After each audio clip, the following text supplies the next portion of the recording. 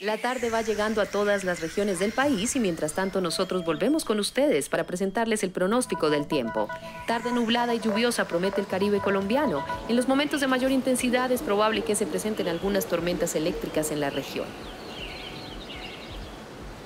Cielo parcialmente nublado se anticipa en el archipiélago de San Andrés y Providencia, donde además se estiman lluvias ligeras y esporádicas durante la tarde.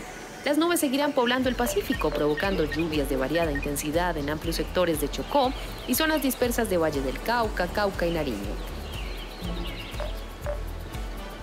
Las aguas seguirán visitando los Andes, especialmente algunos sectores de los Santanderes, norte de Boyacá, Cundinamarca, Tolima, Antioquia y el eje cafetero.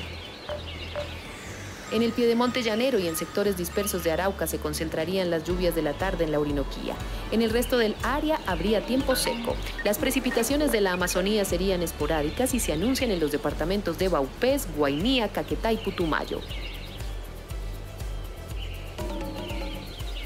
Finalizamos este recorrido con la capital del país, donde la nubosidad parcial vendría acompañada de lloviznas a lo largo del área.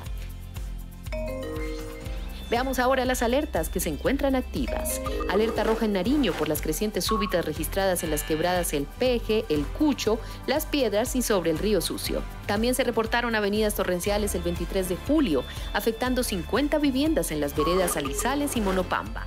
Alerta roja por alta probabilidad de incendios en Valle del Cauca, Cundinamarca, Tolima, Huila, norte de Santander, Boyacá y Antioquia. Alerta roja por probables deslizamientos de tierra en Putumayo, Nariño, Meta, Chocó, Antioquia y norte de Santander.